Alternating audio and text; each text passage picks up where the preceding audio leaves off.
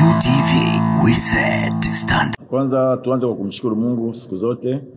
Kwetu sisi nafikiri tume, tumejiandaa vizuri. Ukiangalia tulikuwa tuna mapumziko baada ya ligi ilikuwa break, lakini nashukuru kwamba tumeanza mazoezi toka wiki iliyopita. Nilianza mazoezi na wachezaji wachache ambao wengine walikuwa katika majukumu ya timu ya taifa, lakini mpaka kufikia mwishoni mwa wiki iliyopita tuliweza kujumuika wachezaji wote. Kwa hiyo maandalizi yamekuwa mazuri na, na tumekuwa vizuri kwa sababu tuna tunahitaji kupata matokeo katika game zilizobaki na tunajua sio rahisi, ni mechi ambazo ni ngumu, timu tunazokutana nazo ni game ambazo zitakuwa ni ngumu, lakini tumejipanga pamoja na ugumu wa game tutakutana nayo kama ya kesho, tuhakikishe lazima tunapata matokeo. Kama akiwa anafanya mazoezi na, na wenzake ameanza mdogo mdogo e, na sio yeye tu, karibuni wachezaji wengi ambao walikuwa injured wameweza kurudi, kwa hiyo nafikiri bado tuna muda mrefu mpaka kesho, ni, ni mbali kidogo, kwa hiyo mpaka jioni kutokana na ripoti ya daktari tutajua sasa ni nani ambaye hatakuwa kwenye game ya kesho, nani atakuwepo katika game. ya- Huwezi kusema kwamba hatuna cha kupoteza. Mimi nafikiri Simba ni timu kubwa, ni timu ambayo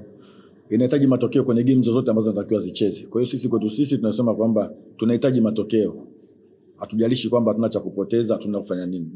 Kutokana na kikosi ni wachezaji ambao watakuwa tayari, kwa sababu kama ilivyokuambia kuna wengine injury na nini, lakini wale wote ambao watakokuwa vizuri na tayari wanaweza kupata nafasi katika game ya kesho. E, nafikiri ni kweli tunakutana na Mbeya City ambao tuli, tulipoteza katika game iliyopita. Ndio maana anasema kwamba tumepata muda wa kujiuliza, kwa sababu timu kama Simba huwezi kukubali kufungwa mara mbili na timu kama Mbeya City, japokuwa nafikiri kwamba ni sio timu mbaya, ni timu nzuri kabisa. Kwa hiyo tumepata nafasi. Kwa hiyo nafikiri kesho sisi ni siku yetu ambayo lazima tuende tukasawazishe tuka tuka kile ambacho tulipoteza katika game iliyopita.